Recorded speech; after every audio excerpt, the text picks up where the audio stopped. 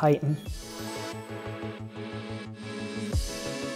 I come from a mixed family, so my, oh, my dad was Evertonian, my mum was a Liverpoolian, so my dad took me to Everton matches when I was younger. I was Evertonian, but Everton released me as a 10-year-old, and then it changed my colours and become a Liverpoolian after that.